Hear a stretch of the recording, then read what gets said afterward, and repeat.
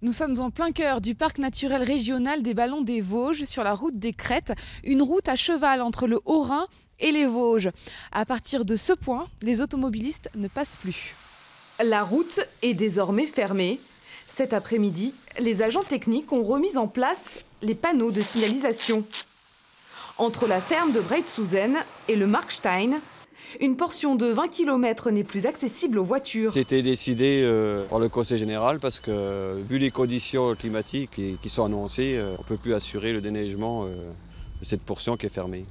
Prise au dépourvu, certains automobilistes rebroussent chemin. Elle vient de fermer, a priori. J'ai des amis qui viennent de Normandie, je voulais leur montrer la route, mais ça vient de fermer. Ben, tant pis, ils verront pas. Il faudra qu'ils viennent faire du ski euh, dans quelques mois.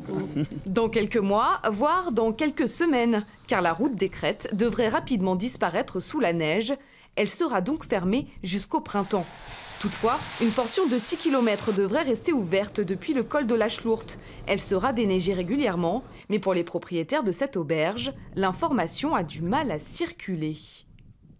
C'est vrai que même dans les offices de tourisme, sur euh, Gérardmer, sur la Bresse, on parle souvent de la route des Crêtes qui est fermée. Les touristes ont tendance à nous faire le retour également. Pour eux, bah, la route est fermée complètement, alors que chez nous, vous pouvez accéder euh, en général tous les jours. Restaurateur, station de ski, la fermeture de la route des Crêtes signe aussi les prémices de la saison hivernale.